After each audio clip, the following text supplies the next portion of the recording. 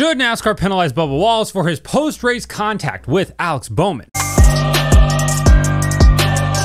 Welcome back to BrakeHard. I'm Matt. Yeah, should NASCAR penalize Bubba Wallace for his post race contact with Alex Bowman, the race winner? On the cooldown lap, if you missed it, coming over the bridge back down to the final turn out on the front stretch, uh, Bubba Wallace pulls up alongside Alex Bowman and gives him a little hip check, hits him into the wall right there. Both of them had their window nets down, both of them were still strapped in uh, just voicing his displeasure over the fact that the 48 spun him out earlier in the race. And of course, of course, people on social media were like, suspend Bubba Wallace. He needs to be sat out a race, a week, uh, multiple races, anything. Fine him, take his points away, kick him out of the sport in general.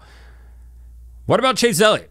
He did the same thing on the cooldown lap. He ran into Daniel Suarez, which you can see right here. He just drives up and hits Suarez, which he wasn't happy about, right? Suarez punted him in the final uh, corner of the race Chase not happy about it. They got out and had an animated discussion afterwards.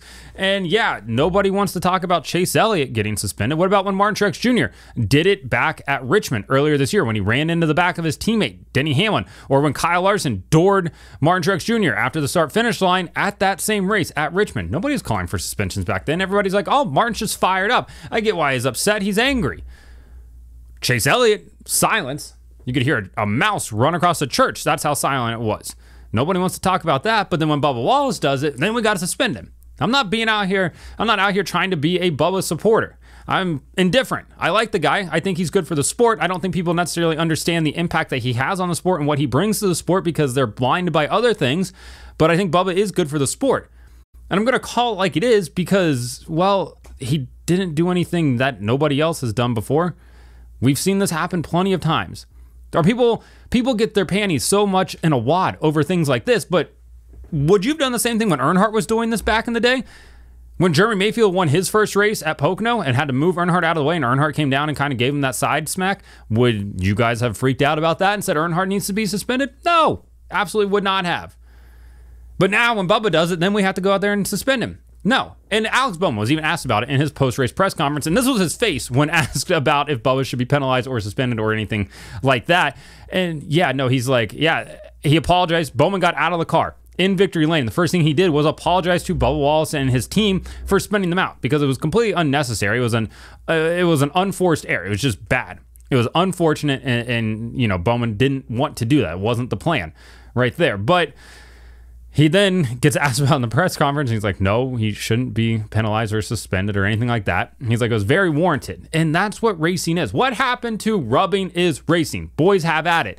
These guys, everybody's like, oh, Days of Thunder was a great movie. People love referencing Days of Thunder, this and that. And then when they actually do things like Days of Thunder, where they're going out there and, you know, a little rubbing is racing after the race, people are all upset about it. We need more emotion in sport. These guys don't have personalities. And then they get all fiery and everybody's like, suspend him. Well, specifically one person uh, suspend him type of thing. So, no, Bubba Wallace should not be suspended. There's no precedent for this. I saw people being like, if you're going to uh, fine Carson Hocevar for what he did last week at Gateway under caution when he intentionally spun out Harrison Burton, even though he says he didn't, it does very much appear like he did. And that's probably why NASCAR fined him. And that's why the team did not appeal.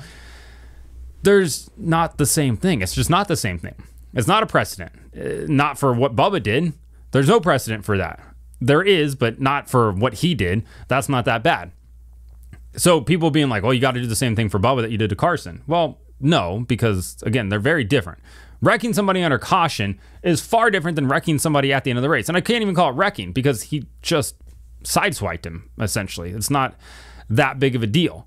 Now, if they came onto pit road and, you know, he was stopped on pit road getting out of the car and he runs into the back of Alex Bowman while he's unbuckled, yeah, that's that's really bad. We've seen instances like that before. Um, where guys have taken their belts off and then somebody comes up and drives into the side of them and slams them. I'm pretty sure Kyle Busch and Kevin Harvick and maybe Brad Matkins, all guys like that have been involved in a situation like that a time or two. But for the most part, that was a pretty much pretty non-starter in terms of you know egregious things that were happening on the racetrack. I mean, Ross Chastain he assaulted a tire barrier after the race and drove completely through it, which is honestly impressive considering everybody else got stuck in it. Nobody wants him to go apologize to the tire barrier, and I still will continue to go back to the Chase Elliott Daniel Suarez thing because nobody wants to talk about that, but we're going to all keep talking about the Bubba Wallace Alex Bowman thing, I guess probably because it made TV and the other one uh, didn't. At the end of the day, no, what Bubba did was not that bad. He should not be suspended. People in the comments were going, or you're going to tell me why, which I'm fine with, right?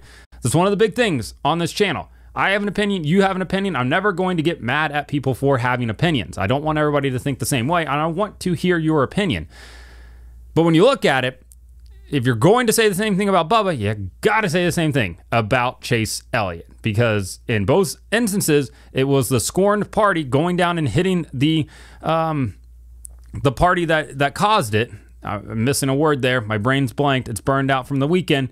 So yes, let me know in the comments what you think. Like and subscribe to the channel. Follow me on TikTok at BrakeHard, Instagram and Twitter at Brake Hard Boy.